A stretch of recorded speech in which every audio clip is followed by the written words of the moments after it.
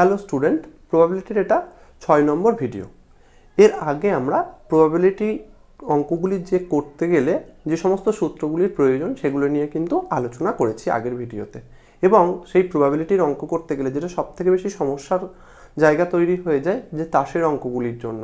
এবং সেখানে কীভাবে আমরা কম্বিনেশনের সূত্রগুলি অ্যাপ্লাই করব, সে নিয়েও আমরা এর আগের ভিডিওতে আলোচনা করেছি। আজকের আমরা যে জিনিসটা নিয়ে আলোচনা করব সেটা হচ্ছে শর্তযুক্ত সম্ভাবনা বা কন্ডিশনাল প্রবাবিলিটি যে টপিকটা আমাদের ক্লাস টুয়েলভের জন্য বিশেষভাবে ইম্পর্ট্যান্ট তাই আমরা তোমরা যারা টুয়েলভে পড়ো, তাদের জন্য কিন্তু এটা স্পেশালি তাদের জন্যই, ঠিক আছে? এখান থেকে টুয়েলভের পার্টটা শুরু হচ্ছে কিন্তু। তবে হ্যাঁ আগেকারগুলো না জানলে কিন্তু টুয়েলভের অঙ্কগুলিও তোমরা করতে অসুবিধায় পড়বে। তাই প্রত্যেককে বলছি প্রবাবিলিটির অঙ্কগুলি করতে গেলে যে সূত্রগুলির প্রয়োজন, সূত্রগুলো যেগুলো জানা দরকার, সেগুলো পার্ট ফোর এবং পার্ট ফাইভে আমাদের তাস এবং যে বল তোলার অঙ্কগুলি রয়েছে বা কয়েন টসিংয়ের ক্ষেত্রে অনেকগুলো কয়েন হয়ে গেলে কীভাবে আমরা সেখান থেকে কম্বিনেশনের সূত্র অ্যাপ্লাই করে অঙ্কগুলিকে সহজেই সলভ করতে পারি সে নিয়ে আলোচনা করেছি। তাই ওইগুলো দেখে তবে এই এই টপিকটাতে এসো। নইলে ওই ধারণাগুলো না থাকলে এই টপিকের জিনিসটা বুঝতে কিন্তু যথেষ্ট টাফ মনে হবে। তাই তোমাদের যাতে কঠিন না মনে হয়, সেজন্যই বলছি আগে ওইগুলো দেখে তোমরা ওই ধারণাগুলো নিয়ে নাও। তারপর এটা দেখো, ঠিক আছে? তাই এখানে আমরা যেটা জানব কন্ডিশনাল প্রবাবিলিটি বা শর্তযুক্ত সম্ভাবনা।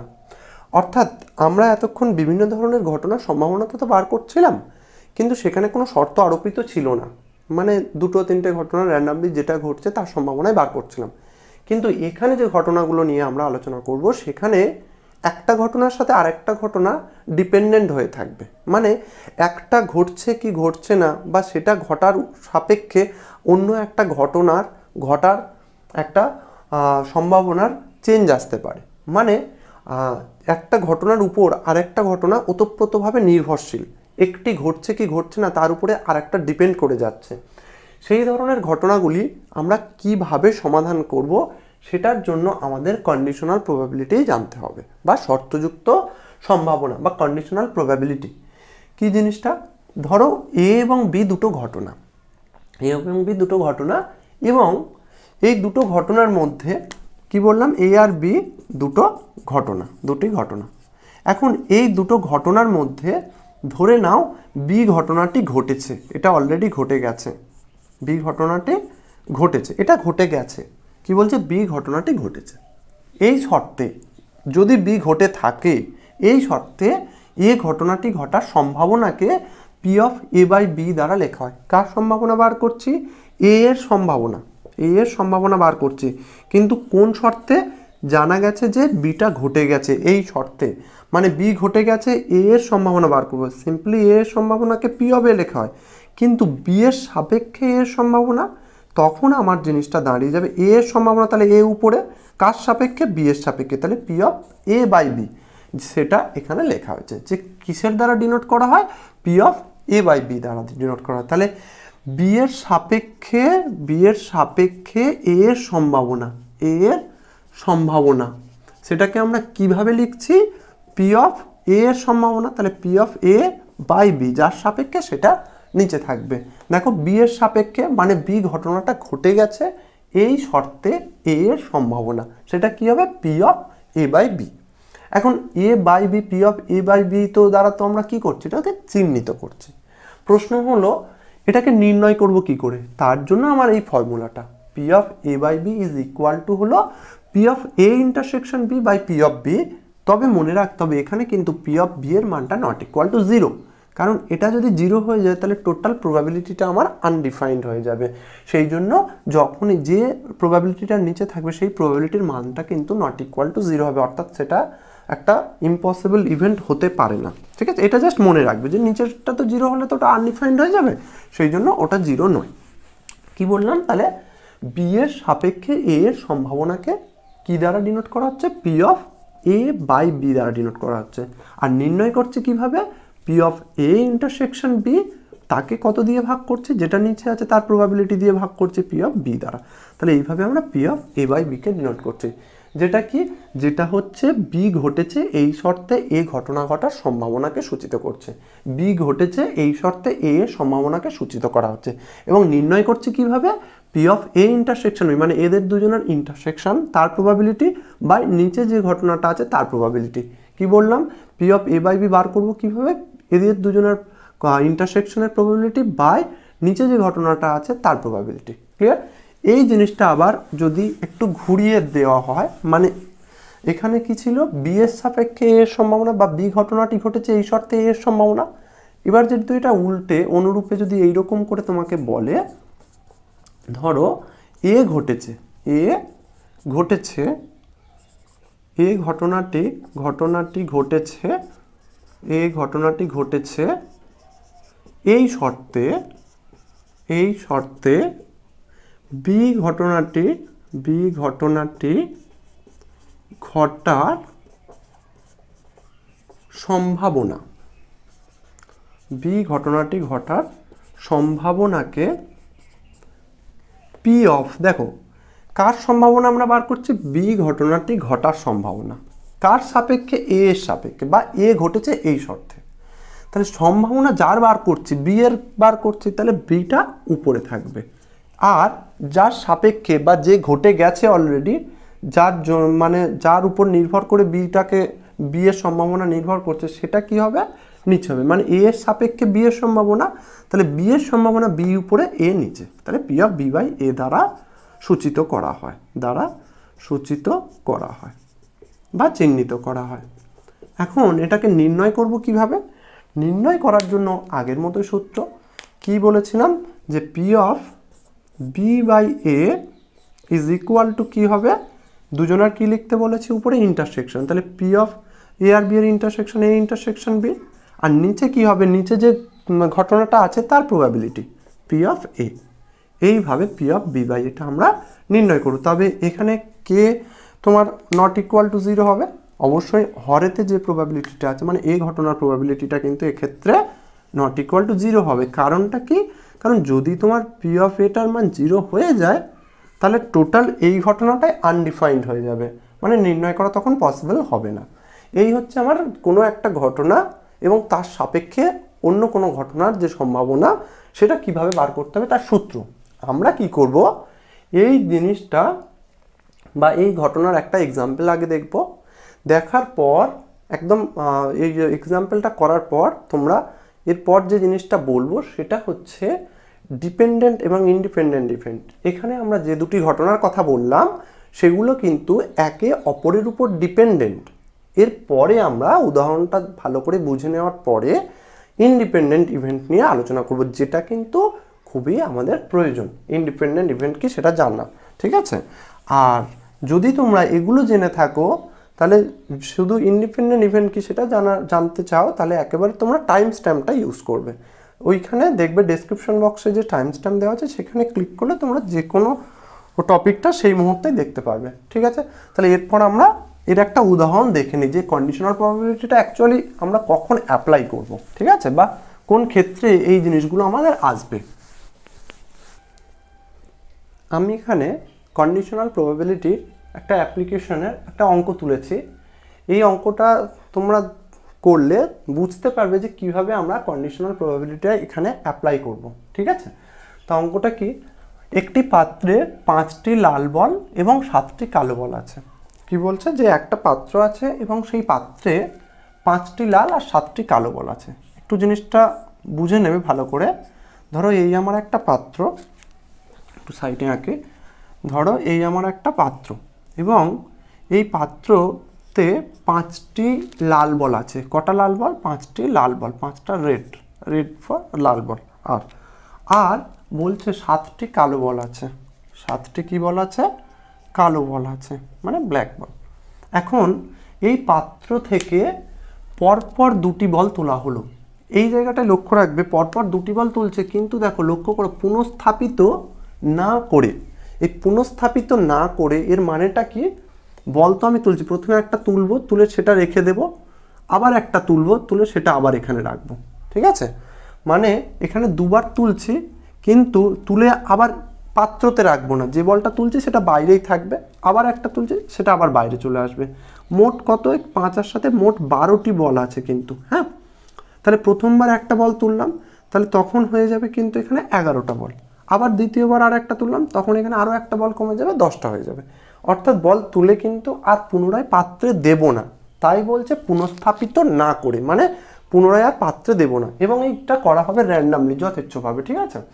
তাহলে পরপর দুটি বল তোলা হলো।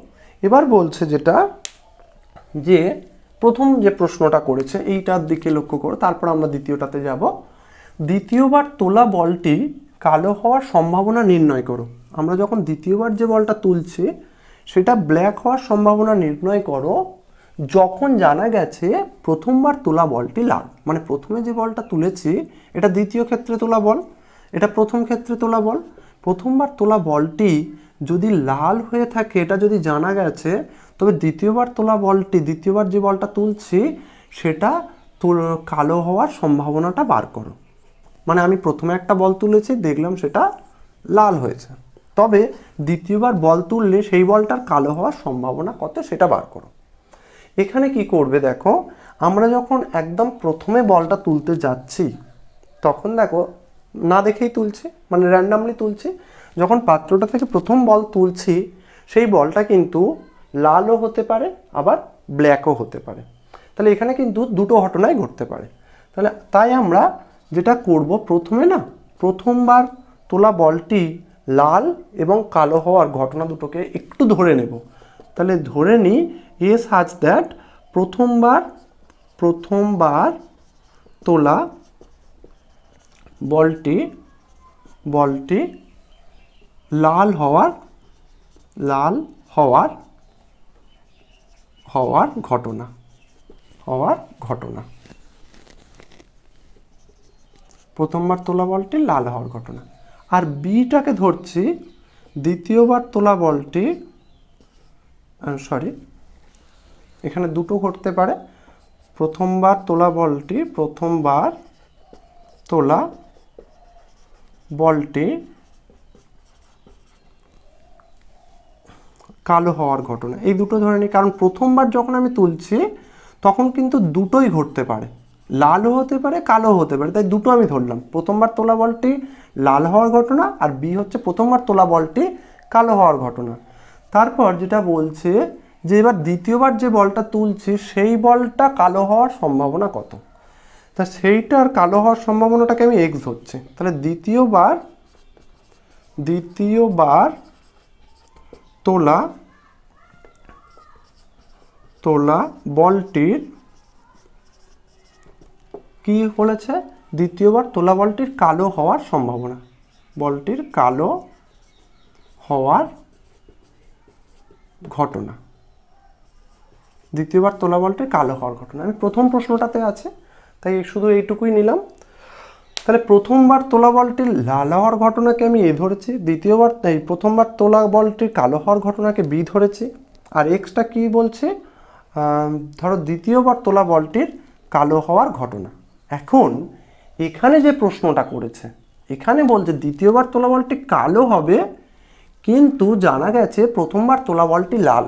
মানে প্রথম বলটা যদি লাল হয়ে থাকে মানে এ ঘটেছে এ ঘটেছে, এ ঘটনাটা ঘটেছে, এ ঘটেছে, এই শর্তে দ্বিতীয় বলটা যে কালো হবে তার সম্ভাবনা বার করো। মানে এই ঘটেছে, এই শর্তে এই শর্তে এক্স ঘটনাটি ঘটনাটি ঘটার সম্ভাবনা সম্ভাবনা। এইটা তোমাকে বার করতে বলছে। যে এ ঘটেছে মানে প্রথমবার তোলা বলটি লাল হয়েছে। এখানে বলেছে তাই যে প্রথমবার তোলা বলটি লাল। তবে তুমি সম্ভাবনা নির্ণয় করো যে দ্বিতীয়বার যে বলটা তুলবো সেটা কালো হওয়ার সম্ভাবনা কি? তার মানে দ্বিতীয়বার তোলা বলটা তো আমরা এক্স ধরেছি, ঘটনাটাকে এক্স ধরেছি। অর্থাৎ এবং সেই বলটা কি কালো হওয়ার ঘটনা? তাহলে এ ঘটেছে এই শর্তে এক্স ঘটনা ঘটার সম্ভাবনাকে আমরা কি বলব? কোনটা ঘটেছে? এ ঘটেছে। তাহলে এ নিচে থাকবে। কার সম্ভাবনা বার করব? দ্বিতীয়বার তোলা বলটি কালো হওয়ার। তার মানে এক্স এক্সের সম্ভাবনা তাহলে এক্স উপরে, নিচে এ তাহলে P of X by A এটা আমাকে বার করতে হবে। অতএব P of X by A this is equal to এখানে এইটাই বার করতে বলছে। যে এ ঘটেছে মানে তোমার প্রথমবার তোলা বলটা লাল হয়েছে, জান জেনেছ কিন্তু দ্বিতীয়বার যে বলটা তুলছো, সেটার তাহলে কালো হওয়ার সম্ভাবনাটা কত? এইখানে একটু ভালো করে মন দিয়ে দেখবে। এখানে দেখো, আমি প্রথম একটা বল তোলা হয়ে গেছে এবং জানা গেছে সেই বলটা কি হয়েছে? সেই বলটা দেখো, এ ঘটে গেছে। এ ঘটে গেছে মানে প্রথম বলটা লাল হয়েছে, এটা জানা গেছে। প্রথম বলটা লাল, এটা জানা গেছে। তাহলে প্রথম বল যদি লাল হয়ে থাকে, এখানে লাল বলটা কিন্তু সংখ্যা কমে গেছে। তাহলে এখন বল সংখ্যা কত আছে? এখন কিন্তু বল সংখ্যা আছে, লাল বল আছে চারটে। কারণ একটা বেরিয়ে গেছে, একটা লাল বল বেরিয়ে গেছে। ঠিক আছে? এবার তাহলে এখন মোট বলের সংখ্যাও দেখো কমে গেছে। টোটাল বারোটা ছিল, এখন কি হয়ে গেছে? এখন কিন্তু এগারোটায় দাঁড়িয়ে গেছে। কারণ একটা বল অলরেডি বেরিয়ে গেছে। যেহেতু কি? এই ঘটনাটি ঘটেছে। এই জন্য। কি বললাম? ধরো এই ঘটনাটি ঘটেছে মানে একটা বল তোলা হয়ে গেছে, তাহলে পরের যে পাত্রটা থাকবে, পরে যে পাত্রটা পাবো আমি, সেই পাত্রতে দেখো পাঁচটা বলের থেকে একটা লাল বল উঠে গেছে মানে এখন চারটে লাল বল আছে। আর কালো বল তো তোলেনি, কালো বল যা আছে তাই থাকবে। তাহলে এখন দেখো মোট এগারোটা বল আমার আছে। এবার এগারোটা বল আছে, এইটার থেকে আমি দ্বিতীয় বলটা তুলছি, এই এগারোটা বল থেকে। এইখানে আমার এই বলটা ব্ল্যাক হওয়ার যে ঘটনাটা, সেইটাই আমার সম্ভাবনা বার করতে হবে, ঠিক আছে? তার মানে এ ঘটেছে এই শর্তে, বি মানে এক্স ঘটনাটি ঘটার সম্ভাবনা এখানে বার করতে বলছে। আচ্ছা কীভাবে করব? দেখো, এখানে আমি আর ওই সূত্রটা অ্যাপ্লাই করব না জাস্ট তোমাদের উদাহরণটা বোঝানোর জন্য যে কখন এই জিনিসগুলো আসবে, যে একটা জানা গেছে, তার সাপেক্ষে আর একটা ঘটনা ঘটার সম্ভাবনা। তাহলে লক্ষ্য করো, এখানে আমার আছে কটা বল টোটাল এগারোটা বল আছে। এবং কটা বল তুলছি আমি? একটা বল তুলছি। তাহলে সমগ্র বল থেকে একটা বল তোলা, সেটাই আমার এন অফ এসে যাবে। তাহলে এখানে হবে এগারোটার থেকে আমি একটা বল চুজ করতে পারি কত রকমভাবে ইলেভেন সি ওয়ান এইভাবে। আর বলটাকে যদি কালোই হতে হয়, তাহলে এই সাতটা কালো বলের থেকে একটা বলকে চুজ করতে হবে, তবে বলটা আমার কালো হবে। তা সাতটা কালো বলের থেকে একটা কালো বল চুজ করা যায়। সেভেন সি ওয়ান এইভাবে। তাহলে আমার সম্ভাবনাটা কত হবে? সেভেন সেভেন সি ওয়ান মানে সেভেন আর ইলেভেন সি ওয়ান মানে ইলেভেন তাহলে এখানে আমি পি অফ এক্স বাই এটা আমি পেয়ে গেলাম কত? সাত বাই এগারো। ক্লিয়ার আবার এর পরের যে প্রশ্নটা বলেছে, দুই নম্বর যে প্রশ্নটা, সেইটার দিকে যাই এবার। এখানে আমি তাহলে অ্যান্সারটা কত পেলাম? সাত বাই এগারো। এটা একটু মনে রাখবে। তাহলে এই দুটো ঘটনার মধ্যে পার্থক্যটা বুঝতে পারবে যে একটা ঘটলে পরের যে ঘটনাটা ঘটছে, সেটা কিন্তু ডিফারেন্ট হবে প্রথম ঘটনাটার উপরে, নির্ভর করে। মানে প্রথমটা কি ঘটেছে, তার সাপেক্ষে অন্যটা কি ঘটবে, সেটা কিন্তু একদম প্রথম ঘটনাটার উপর নির্ভর করছে। আচ্ছা এরপর আমরা যে দ্বিতীয় এটা আছে, দ্বিতীয় যে প্রশ্নটা আছে, সেটার দিকে একটু দেখো। এটা তাহলে সাত বাই এগারো এলো। কার মান? আমি এখানে লিখে রাখছি P of X by A এর মানটা এসেছে আমার কত? সাত বাই এগারো। নেক্সট এরপর আমরা দ্বিতীয় যে অঙ্কটা আছে, দ্বিতীয় অঙ্কটার দিকে খেয়াল করো। দ্বিতীয় অঙ্কটাতে আমার বলছে যে দ্বিতীয়বার তোলা বলটি কালো হওয়ার ঘটনা, এই সম্ভাবনা নির্ণয় করো মানে এক্সই নির্ণয় করতে হবে, দ্বিতীয়বার তোলা বলটি কালো হওয়ার। কিন্তু এখানে বলছে যখন জানা গেছে প্রথমবার তোলা বলটা কালো মানে প্রথমে যে বলটা তুলেছি সেটাও কালো, আবার দ্বিতীয় যেটা তুলবো সেটাও কালো। মানে এখানে বি ঘটেছে। দেখো এ মানে হচ্ছে প্রথমবার তোলা বলটি লাল হয়েছে। আর বি মানে হচ্ছে প্রথমবার তোলা বলটি কালো হয়েছে। তার মানে বি ঘটেছে এই শর্তে এক্স ঘটার সম্ভাবনা। এইটা বার করতে হবে। আগেরটা ছিল এ ঘটেছে এই শর্তে এক্স তার মানে P of X by A আর এবার তোমাকে বার করতে বলছে বি ঘটেছে। মানে প্রথম যে বলটা তুলেছি সেটা কালো হয়েছে। তাহলে তুমি নির্ণয় করো যে দ্বিতীয়বার যে বলটা তুলছি সেটা সেটাও কালো হবে। মানে দ্বিতীয়বার তোলা বল বল তোলার ঘটনাকে এক্স এই এক্সটা কালো হওয়ার সম্ভাবনা সেটা বার করতে হবে। কিন্তু জানা গেছে বিটা ঘটেছে। তাহলে বি ঘটেছে, তার সাপেক্ষে এক্স ঘটার সম্ভাবনা। মানে এক্স ঘটার সম্ভাবনা বার করতে হবে, কিন্তু কার সাপেক্ষে? বি এর সাপেক্ষে। আর আগে কি ছিল? এ এর সাপেক্ষে। তাহলে আমরা এখানে কি লিখব? যে বি ঘটেছে বি ঘটেছে এই শর্তে এই শর্তে এক্স ঘটনাটি এক্স ঘটনাটি ঘটার সম্ভাবনা সম্ভাবনা হবে আমার কি পি অফ দেখো বি ঘটেছে, এই শর্তে এক্স ঘটবে। তাহলে এক্স উপরে এক্সের সম্ভাবনা, নিচে কি বি বি এর সাপেক্ষে। তাহলে অতএব P of X by B এইটা দেখো কি করে করব। মোট বল কতগুলো আছে? প্রথমে মোট বল ছিল বারোটা ছিল, তাই তো? এটা প্রথমে পাত্রটা এরকম ছিল। একটা বল তুলেছি এবং এটা কোন ঘটনাটা ঘটছে, বি ঘটনাটা ঘটছে। বি ঘটা মানে প্রথমবার কি বল তুলেছে? কালো বল তুলেছে। তাহলে একটা ব্ল্যাক বল এসে গেছে। তাহলে এরপর পাত্রটার অবস্থা কি হবে? পাত্রটাতে লাল বল কটা থাকবে? পাঁচটাই থাকবে। কারণ লাল বল তো তুলিনি। আচ্ছা একটা কালো বল উঠে গেছে। তাহলে সাতটা কালো বল থেকে এখন হয়ে যাবে ছটা কালো বল। তাহলে বর্তমানে কটা বল হবে? এগারোটি বল। এইবার যে ঘটনাটা ঘটাবো সেটা হচ্ছে আমার যে বি এর সাপেক্ষে মানে বি ঘটে গেছে, তার সাপেক্ষে এক্স ঘটার সম্ভাবনা। তাহলে P of X by B তাহলে বর্তমানে কতগুলো বল আছে এগারোটা? তাহলে এগারোটা বলের থেকে কটা বল তুলছি আমি? একটা বল তুলছি, একটা বল। তাহলে সেটা চুজ করা যায় কত? ইলেভেন সি ওয়ান এই উপায়। তাহলে আমার P of X by B এর এন অফ এস এর মানটা হবে ইলেভেন সি ওয়ান ক্লিয়ার আচ্ছা এরপর যেটা এক্স তুলছি মানে আমাকে বলছে এই বলটা কি হতে হবে? দ্বিতীয়বার তোলা বলটা কালো হতে হবে। তা কালো বল যদি তুলতে হয়, তাহলে এখন কালো বল আছে কটা? ছটা। এই ছটার থেকেই ওই বলটা তুললে তবে সেটা কালো হবে। তাহলে এখানে হবে সিক্স সি ওয়ান ছটা কালো বল থেকে একটা কালো বল চুজ করা যায়। কত কীভাবে? সিক্স সি ওয়ান এইভাবে। তাই তো? তাহলে এখানে আমার প্রবাবিলিটিটা দাঁড়াবে সিক্স বাই ইলেভেন তাহলে দেখো, আমরা একটু আগে যে প্রবাবিলিটিটা বার করলাম মানে যেটা এইটা সেটা ছিল সাত বাই এগারো, আর এখানে P of X by B এটা আমরা পেলাম ছয় বাই এগারো। লক্ষ্য করো, প্রথমবার তোলা বলটি, প্রথমবার তোলা বলটি যদি লাল হয়, তবে দ্বিতীয়বার তোলা বলটির কালো হওয়ার সম্ভাবনা ছিল সাত বাই এগারো। প্রথমবার যদি লাল বল তুলে থাকি, তবে দ্বিতীয়বার যে বলটা তুলছি, সেটা কালো হওয়ার সম্ভাবনা ছিল সাত বাই এগারো। আর প্রথমবার তোলা বলটি যদি কালো হয়, তবে আবার দ্বিতীয়বার তোলা বলটাও কালো হবে। তার সম্ভাবনা দেখো ছয় বাই এগারো। আমি কিন্তু উভয় ক্ষেত্রে দ্বিতীয়বার যে বলটা তুলছি, সেটা কালো হওয়ার সম্ভাবনা নির্ণয় করছি।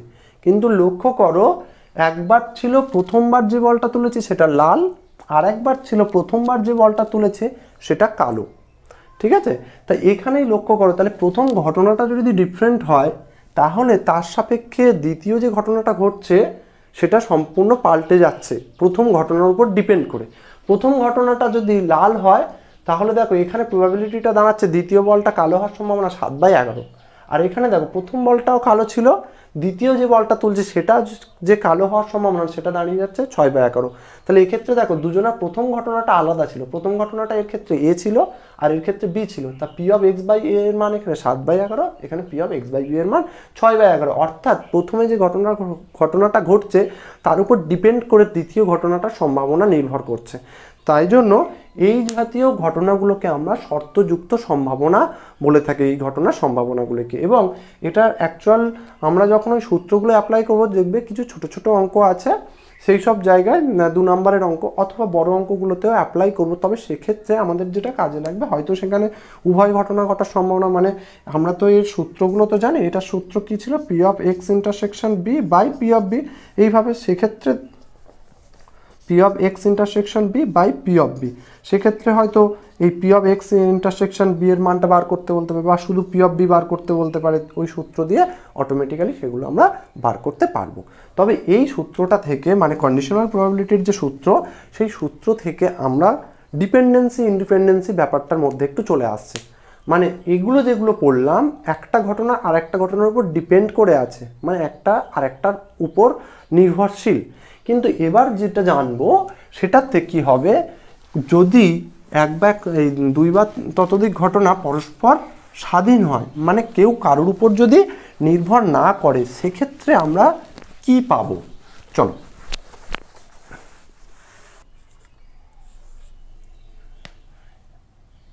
এ ও বি ঘটনা দুটি ঘটনা দুটি পরস্পর স্বাধীন হলে স্বাধীন হলে কি হবে? দেখো এ আর বি দুটো ঘটনা বলছি আমি কি পরস্পর স্বাধীন? এখন যদি পরস্পর স্বাধীন হয়, তার মানে কেউ কারোর উপর নির্ভর করে না। ধরো, আমি যেটা বলছিলাম যে P of A by B এটা যখন ডিপেন্ডেন্ট ঘটনা হয়, তখন এর সূত্রটা কী ছিল? P of A intersection B by P of B তাই তো? এটা ছিল সূত্র। এবার আমি বলছি এই ঘটনা দুটো কেউ কারোর উপর নির্ভরশীল নয়। মানে বি ঘটেছে কি ঘটেনি তার উপর ইয়ে নির্ভর করে না। এ এর সম্ভাবনা বলতে P of A by B এইটা তো বি এর সাপেক্ষে এর সম্ভাবনা। এটা বলতে সাধারণত কাকে বোঝানো? এইটা বোঝানো হয়। কখন যখন একে অপরের উপর ডিপেন্ডেন্ট করে থাকে, তাই তো? আচ্ছা দুজন পরস্পর তাহলে স্বাধীন। এবার যদি স্বাধীন হয়, তাহলে বিয়ের উপর নির্ভর করে এ ঘটছে না বা এর জন্য বিয়ের কিছু যায় আসে না। অর্থাৎ এ ঘটনার সম্ভাবনা বলতে শুধু এ ঘটনারই সম্ভাবনা বোঝাবে, কিন্তু আমরা P of A by B দ্বারা কী বলি? যে বিয়ের সাপেক্ষে এ এর সম্ভাবনা। তা বি সাপেক্ষে থাকুক আর যাই থাকুক এ তো বিয়ের উপর নির্ভর করে না। কি বলেছে? স্বাধীন বা ইনডিপেন্ডেন্ট ইভেন্ট তাহলে নির্ভর করে না মানে এ এর সম্ভাবনা বলতে ন্যাচারাল পি অফ একেই বলা হবে? তাই তো? বা তোমার যদি P of B by A থাকে, তাহলে সেক্ষেত্রে পি অফ বিকেই বলা হবে শুধু? ব্যাপারটা এইটা। এবার দেখো, যদি এইটা আমরা নিই, যদি এই সম্পর্কটা নিই, যে এ এর সম্ভাবনা বলেছে, তাহলে পি অফ এ মানে P of A by B বলতে সেই পি অফ একেই বোঝাবে? এবার এখান থেকে লক্ষ্য করো, এটা যদি আমরা ভাঙে নর্মাল এই সূত্র অনুযায়ী P of A intersection B by P of B is equal to আমার, তাহলে দাঁড়াবে কিন্তু পি এ এবার সেখান থেকে দেখো, এখান থেকে আমরা কি পাচ্ছি? যে P of A intersection B is equal to দাঁড়াল P A into P A into P B ঠিক আছে? এইটা আমাদের মনে রাখতে হবে। এই এ ও বি দুটি ঘটনা স্বাধীন হলে ওদের ইন্টারসেকশন যখন বার করতে যাব, তখন পি এ ইন্টু পিবি করব। কিন্তু মনে রাখতে হবে, এই ইন্টারসেকশন মানেই দুটো আলাদা আলাদা প্রবাবিলিটির গুণফল তখনই সম্ভব যখন ঘটনা দুটো স্বাধীন হবে বা ঘটনা দুটি পরস্পর ইন্ডিপেন্ডেন্ট হবে বা মিউচুয়ালি ইন্ডিপেন্ডেন্ট হবে। একই জিনিস কিন্তু তুমি যদি এটা নিতে এখান থেকেও পেতে কারণ এটা যদি আমরা ভাঙি P of B intersection A by P of A এবং সেখান থেকে দেখো পি অফ বি আসবে, তারপরেই দেখো আমরা ওটা পেয়ে যাব P of B intersection A is equal to P A into P A into P B আচ্ছা দিস ইমপ্লাইজ দেখো আমি এ ইন্টারসেকশন বি যা বি ইন্টারসেকশন এ তাই তাই এরকম লিখতেই পারি। আচ্ছা সেই একই জিনিস এলো। দেখো এখান থেকেও যা পেলাম, এখান থেকেও তাই পেলাম। তাহলে আমাদের মনে রাখতে হবে যদি এ ও বি দুটি ঘটনা স্বাধীন হয়, তাহলে তাদের ইন্টারসেকশনটা আমরা কি করে বার করব? আলাদা আলাদা প্রবাবিলিটির গুণ করে বার করব। আলাদা আলাদা প্রবাবিলিটির গুণফল মানে এ বি এর ইন্টারসেকশন মানে এ ও বি উভয় ঘটনা ঘটার সম্ভাবনা। এইভাবে আমরা বার করব। এইটা তোমাদেরকে মনে রাখতে হবে এই সূত্রটা। ঠিক আছে? P of A intersection B equal to P A into P B কিন্তু কখন? যখন এ ও বি ঘটনা দুটি স্বাধীন। তাহলে আমরা সূত্র করে এটাই লিখব যে এ ও বি ঘটনা দুটি স্বাধীন হলে আমরা কি লিখতে পারি? যে P of A intersection B is equal to হবে আমার পি এ ইন্টু পিবি এইটা একটু আমাদেরকে মনে রাখতে হবে পি এ ইন্টু পিবি এবার তাহলে আমি এখান থেকে এটাই বোঝালাম যে যখন ঘটনাগুলো স্বাধীন হবে তখন তোমরা কি করবে? ইন্টারসেকশন দেখলে ওদের আলাদা আলাদা প্রবাবিলিটির গুণ করে দেবে। এইরকম যদি এন সংখ্যক ঘটনা থাকে এন সংখ্যক ঘটনা থাকলে সেখানেও একই নিয়ম প্রযোজ্য। কি বললাম? যদি এইরকম এন সংখ্যক ঘটনা থাকে মানে ধরো তোমার A one A two A three dot dot dot dot এইরকম এ এন এন সংখ্যক ঘটনা থাকে এন সংখ্যক হ্যাঁ, ঘটনাগুলি ঘটনাগুলি স্বাধীন হলে স্বাধীন হলে তোমরা লিখতে পারবে P of A one intersection A two intersection A three intersection dot dot dot dot intersection A N is equal to লিখতে পারবে P of A one into P of A two into P of A three into dot dot dot dot P of A N clear আলাদা আলাদা প্রবাবিলিটির গুণ করে দিতে পারবে ঘটনাগুলোর। আলাদা আলাদা প্রবাবিলিটি বার করে তাদের গুণ করে দিতে পারবে। তাহলে যদি এই রকম এন সংখ্যক ঘটনা পরস্পর স্বাধীন হয়, তখন তোমরা কি লিখতে পারবে? তাদের ইন্টারসেকশন যদি বার করতে বলে, সেটা সিম্পলি কি করবে? আলাদা আলাদা প্রবাবিলিটি বার করে তার গুণ করে দেবে। এটা কখনই পসিবল যখন ঘটনাগুলো স্বাধীন হবে বা ইন্ডিপেন্ডেন্ট হবে। এবার তিনটি ঘটনার ক্ষেত্রে যদি এইরকম বলে দেয়, ধরো এবিসি তিনটে ঘটনা এ বি সি তিন ঘটনা, তিনটি ঘটনা তিনটি ঘটনা, পরস্পর স্বাধীন হলে, পরস্পর স্বাধীন হলে, সেক্ষেত্রেও একই নিয়ম। তোমার, তবে বলে রাখি, পরস্পর স্বাধীন হলে, এখানে তাহলে এ বি এর সাথেও স্বাধীন এ বি পরস্পর স্বাধীন হবে বি সি পরস্পর স্বাধীন হবে এসিও পরস্পর স্বাধীন, আবার তিনজনেও স্বাধীন। তাই এখানে কিন্তু তিনটে জিনিস একটু মনে রাখবে, সবগুলোই হবে। যদি P of A intersection B লেখা থাকে, যেহেতু স্বাধীন বলেছে, পরস্পর স্বাধীন, জোড়াই জোড়াইও নিতে পারি। পি এ ইন্টু পিবি এটা হবে। দুই হচ্ছে P of B intersection C সমান কি হবে? পিভি ইন্টু পিসি এটাও লিখতে পারব। আবার তিন হলো তোমার P of C intersection A equal to P C into P A লিখতে পারব। আর সবশেষে যেটা আমাদের মনে থাকবে যে তিনটে ঘটনা স্বাধীন হলে যেটা হয় A intersection B intersection C is equal to কী লেখা যাবে? P of A into P of B into P of C actual এই যে আমরা সূত্রগুলো লিখছি, এটা কোথায় কাজে লাগবে একটু বলে রাখি। দেখবে তোমরা কখনো কখনো এই অঙ্কটা পাবে যে কোনো একটা অঙ্ক তিনজন ছাত্রকে বা চারজন ছাত্রকে সমাধান করতে দেওয়া হলো এবং অঙ্কটি সমাধান হওয়ার সম্ভাবনা নির্ণয় করো। সেক্ষেত্রে এই ইন্ডিপেন্ডেন্ট ইভেন্টটা কাজে লাগবে মানে স্বাধীন ঘটনা। কারণ যখন আমি চারজন বা তিনজনকে অঙ্কটা করতে দিচ্ছি, তখন একজন পারল কি পারল না, তার উপর কিন্তু অন্যজন নির্ভর করে না। কারণ প্রত্যেকেই স্বাধীনভাবে অঙ্কগুলি করছে। মানে একজন পারল কি পারল না, তার উপর অন্যজন যেহেতু ডিপেন্ড করছে না সেই জন্যই সেক্ষেত্রে ঘটনাগুলো স্বাধীন ঘটনা হবে এবং সেখানে আমরা কিন্তু এই স্বাধীন ঘটনার যে সূত্রগুলো শিখলাম, যেমন দুটো ঘটনা স্বাধীন হলে এটা হয়, তিনটে ঘটনা স্বাধীন হলে এটা হয় এবং এগুলোও লিখতে পারবে। আর একাধিক ঘটনা, অনেকগুলো ঘটনা স্বাধীন হলে তখন এইরকম লিখতে পারবে।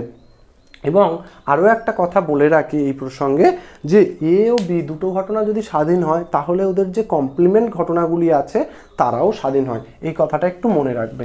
কি বললাম? এ ও বি দুটি ঘটনা পরস্পর স্বাধীন হলে, এটা ধরো আমি আরেকটা নোট করে লিখে দিই, যাতে এই জিনিসগুলো স্বাধীন ইন্ডিপেন্ডেন্ট ডিপেন্ডেন্সির যে অঙ্কগুলি আছে, তখন এইগুলো কাজে লাগবে যে এ ও বি, এ ও বি ঘটনা দুটি ঘটনা দুটি স্বাধীন হলে স্বাধীন হলে এ কমপ্লিমেন্ট এবং বি কমপ্লিমেন্ট ঘটনা দুটিও দুটিও স্বাধীন হয়। স্বাধীন হয়। এইটা একটু মনে রাখবে। কেন বলছি? এটার প্রমাণটাও পরীক্ষা আসে, সেই প্রমাণটা আমরা করব নেক্সট অন্য কোনো ভিডিওতে। শুধু একটুকু, এটুকু মনে রাখবে, যদি এও বি স্বাধীন হয় তাহলে এরাও কিন্তু স্বাধীন হয় ওদের কমপ্লিমেন্ট ঘটনাটা। এটা জাস্ট একটু জেনে রাখবে। মানে এও বি স্বাধীন মানে P of A intersection B is equal to কী হবে? P A into P B আর তাহলে অনুরূপে তোমার ওদের কমপ্লিমেন্টটাও স্বাধীন, তার মানে A complement intersection B complement সমান আমরা লিখতে পারব P of A complement into P of B complement কারণ এ বি স্বাধীন মানে ওদের কমপ্লিমেন্টগুলোও স্বাধীন। এবার সেখান থেকে দেখো এটা সমান one minus P of A আর এটা সমান হবে one minus P of B actually এটা কেন বললাম? কারণ এইভাবে দেখো, আমরা পি এ আর পিভি জানলে কিন্তু ওদের ওই ঘটনা দুটি না ঘটার সম্ভাবনাটাও বার করতে পারব। সেই জন্যই এটা বলা একটু। আচ্ছা তাহলে এই ছিল আমার কন্ডিশনাল প্রবাবিলিটি এবং দুটি বা তিনটি ঘটনা পরস্পর স্বাধীন হলে তখন আমরা কি লিখতে পারি সেই ফর্মুলাগুলো। তোমরা এখানে এই জিনিসগুলোই একটু ভালো করে জেনে রাখবে, তাহলে আমরা টুয়েলভের যে অঙ্কগুলি আছে সেগুলোই ভালো করে করতে পারব। এরপর আমরা নেক্সট ভিডিওতে থিওরি অফ টোটাল প্রবাবিলিটি বা ল অফ টোটাল প্রবাবিলিটি নিয়ে আলোচনা করব। সেটাও খুবই ইম্পর্ট্যান্ট আমাদের ক্লাস টুয়েলভের অঙ্ক করার জন্য। তারপর আমরা প্রতিটা অঙ্কই সলভ করতে পারব। আপাতত এই পর্যন্তই। আবার তাহলে আমরা নেক্সট ভিডিওতে